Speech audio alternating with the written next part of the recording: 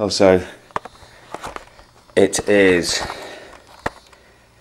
it's 25 past 10 and it's already that hot in the room that I'm sweating.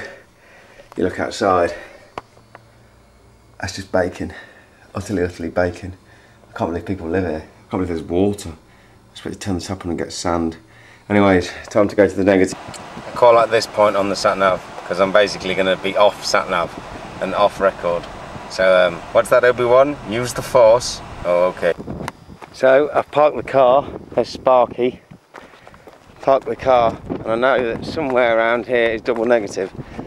It's slightly weird walking towards an art piece, and I don't know where it is, but it's all quite interesting. So, um, I'm also just slightly suspicious that nothing appears to be alive out here, which is a good thing in a way, because I was a bit paranoid there'd be rattlesnakes. But it doesn't even seem, there's a couple of very lost looking butterflies but Lord only knows what they eat. But there seems to be a path, so I'm going to follow this and see what happens. But I can't see anything that looks like a big hole just yet. But it's at the edge of the mesa. This is this mesa, which is this huge flat. I assume this was the bottom of a river, and the, the Virgin River, which is the river there, has flooded the, both sides of it out, and this used to just be flat land. It's just a big old flat lump of rock, ideal for making holes in say hello to the people in the plane. Anyways, in a bit.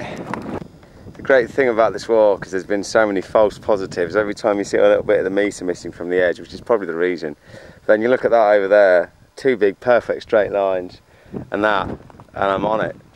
I found it. I'm about a mile away from where I parked the car, taking a big crazy walk circle. But yay, here we are, double negative. Oh yes, proper.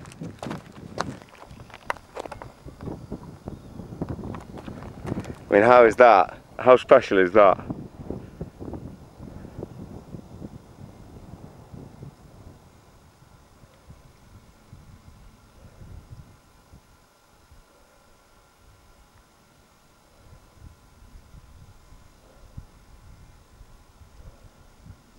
Just walking back now from double negative, that light you can possibly see in the distance. hello. Just walking back now from double negative, light shining little light you can see in the distance is sparky. I reckon he's about a mile and a half away. I've got to go back because I'm utterly parched, but it's just fascinating walking around the desert because I first got out of the car and when I was doing the first bit, this huge condor flew above me and just, because obviously this mesa, I mean, you can see off the edge and also the sort of how high this must have been and how this probably was caused out by whatever whatever this river was.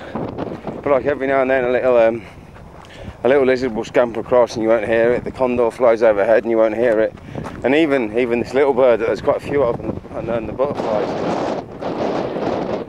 um, they don't make a sound. And I've got my big clod up of feet when I do. And if it weren't for the wind, you know, you say there's no rain here, but I bet there's no noise. And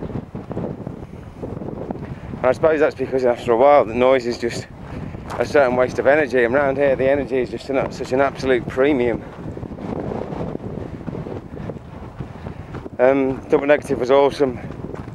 It's just on so many levels. There were it's a real feeling of, of vandalism to it um, and of damage, but you can make the argument because of the location. There's a mitigation, but then you can make the argument that it's art and there's a consumptive element to all art. But then you, the notion that it's falling apart, the notion that one end is of a different height to another end, that end is much steeper, that end is a really different rock and there is a fundamental geological element to it and a geographical element and a, a, biological element because the species that are in there are different to these. These are all, I think these are all tumbleweed or the things that become tumbleweed.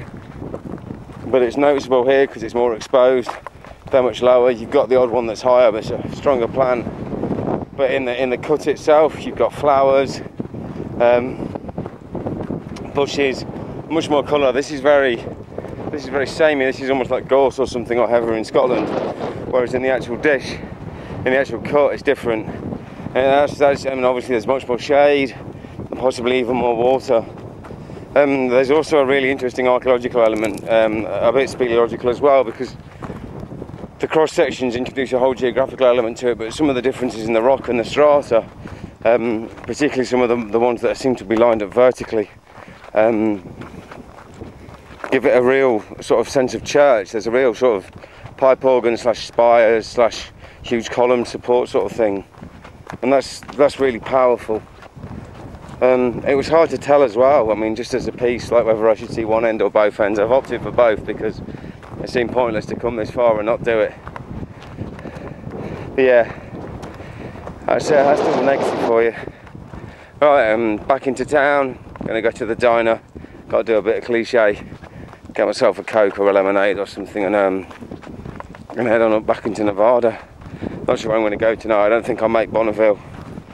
Um, I might try Bonneville. Well, I'll probably go through Bonneville maybe Saturday.